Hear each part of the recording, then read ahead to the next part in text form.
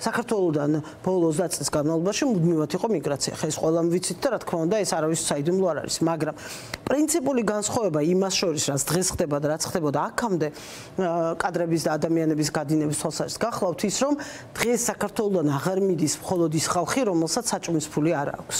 რომელსაც არჩევანი ესე უდგას, შვილი გამოყვებოს თუ რაღაცა დამატებითი ამისთვის დახარჯოს ფული და მუდმივად მხოლოდ საკვებისთვის აკეთებს არჩევანს.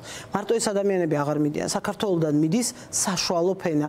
ადამიანები, რომელსაც შემოსავალი აქვთ ქვეყანა ამ ქვეყანაში, არა უშავს ნორმალური სამსახურები აქვთ, შემოსავლის წყარო აქვთ, მაგრამ ვიდიან უპერსპექტივობის განცდის გამო, მათ არა აქვთ იმის განცდა, რომ აი ამ დღეს მეტნაკლებად ნორმალურად ყოფნას მათი ცხოვრება გაცდება.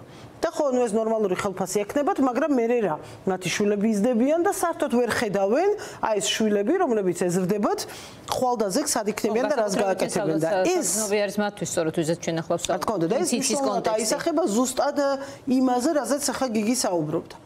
რომ ის სიტყვის მთქვენ, ანუ ხვდებით პრობლემა რაშია რომ აი პროტესტი რატომ არ არის ხო რაღაც მომენტებში ყოფილა ის რომ აი მეტი რა უნდა მოხდეს რომ ამაზეც არ გამოდის ხალხი და საქართველოსდან დღეს მიდიან ადამიანები რომლებიც გამოდიან გარეთ. და შემოდიან ადამიანები ვინც შეიძლება ხოლ საქართველოს მოქალაქეები გახდნენ და მართლა ძალიან რთული მდგომარეობა მიიღოს პროტესტის თავარ გუნდს ასე ვთქვა თავარ გულს რომელიც იყო მუდმივად სამოქალაქო აქტივიზმის შუაგულში ამ ადამიანების დიდი ნაწილი წავიდა საქართველოსდან, იმიტომ რომ დაკარგეს იმისი იმედი, განცდა რწმენა, რომ ცვლილება შესაძლებელია და ამ ხრივ იმუშავა ძალიან კარგად ხელისუფლებამ. აი ამ უიმედობის გაჩენაზე და ამ ადამიანების თავიდან მოცილებაზე, რომლებიც სინამდვილეში ყველა არადემოკრატიული ხელისუფლებისთვის პრობლემას წარმოადგენს.